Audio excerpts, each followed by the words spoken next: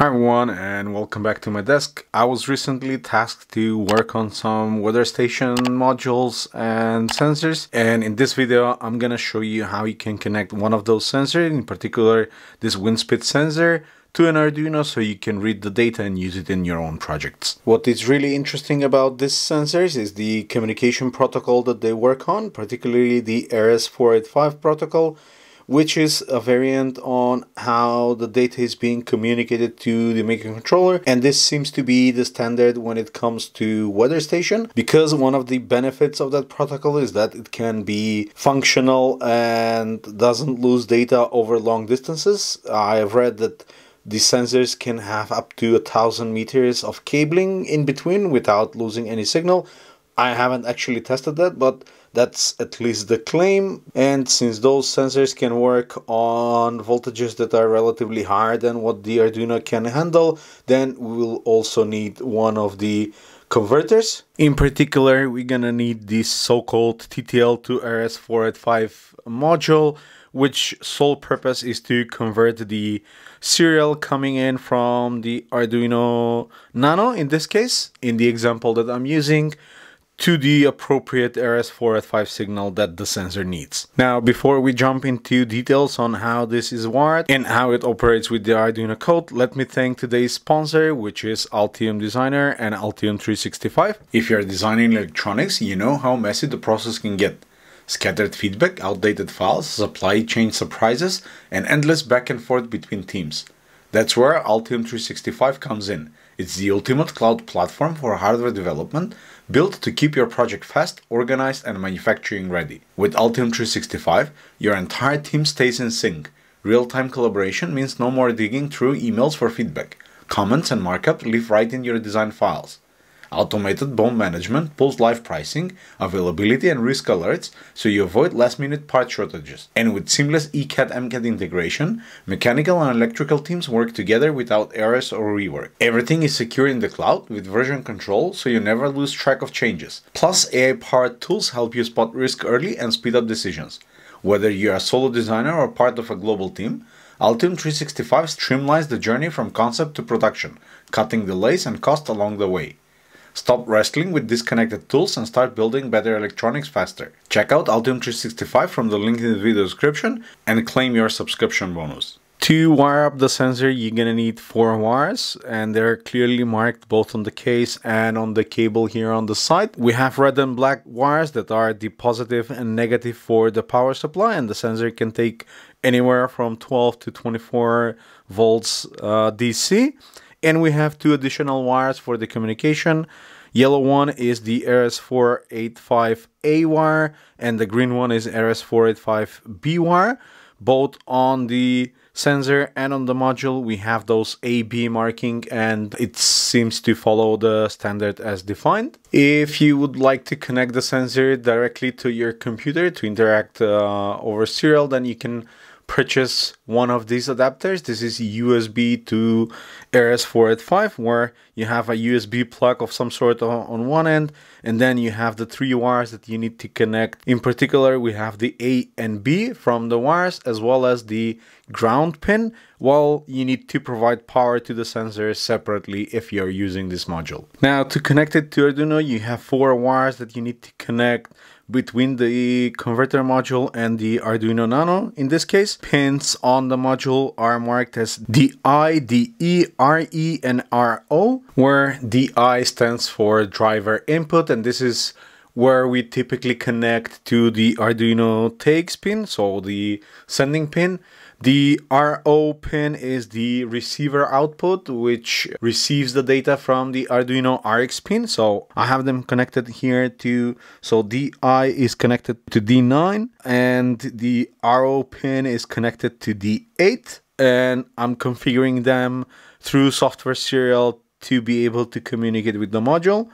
And the other two pin are DE, which stands for driver enable, and RE, which stands for receiver enable, and we need to control those whether we are reading or writing to the module. So we set the right state on the converter. Now on the other end, we have four pins and we have VCC and ground, but VCC is connected to V-in, which is 5 volt coming in from the Arduino Nano and ground is connected to ground.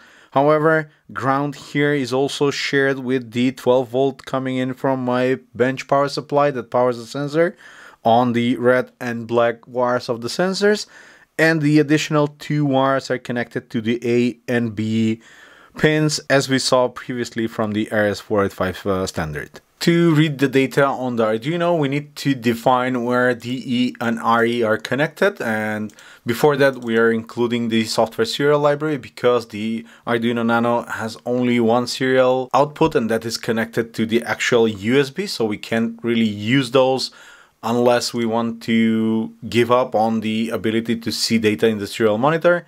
We need this for this case. So that's why I'm using software serial and I'm defining that on pin 8 and pin 9 respectively. Now, when it comes to the sensor, we need to be able to send some data to it so it replies back with the current state that is being on. And that information you can find within the datasheet provided from the sensor manufacturer. Depending on what sensor you're going to use, this will be different, so I won't focus too much on it, on what it means. Additionally, we have two functions that we need to enable the right pins depending if you are sending or receiving data and we have a function to send a request which just writes the sequence of bytes that we have to the serial that we defined for the library. We have a function here to check the CRC if we got the right data and within the setup function we first specify the pins as output the ones that we're going to use to control whether we're reading or writing we have some information that we have started the serial and started the modbus serial we're using 9600 for the baud rate because that's one of the limits on the nano that it can do and still be functional. Within the loop, we're sending the request to get the data, we're waiting for the response and just parsing that to get the right information depending on the bytes. Again, all of this is really dependent on how the sensor is wired. There is actually an Arduino Modbus library that you can use that in theory should remove all of this and give you a nice method. However, in my case, for some reason that's unknown to me, it wasn't working. At least it wasn't working with the Nano, so I went with the direct approach where I'm just reading and writing the bytes directly to the module. And once we get the right bytes here, then we can use them to indicate the raw speed value as well as the wind level. If I open the serial monitor here, we should be connected to the module. So we see that we got the started and the modbus serial started message. So here you have it. The wind speed is currently zero and wind level is currently zero because the sensor is not spinning. If I push it with my hand, we're gonna start seeing an update to the values. And if I do this faster, then we should be able to see a higher value. As stated in the datasheet, we need to divide this to actually get the meter per second. So 1.4 meters per second. If I try to speed it up,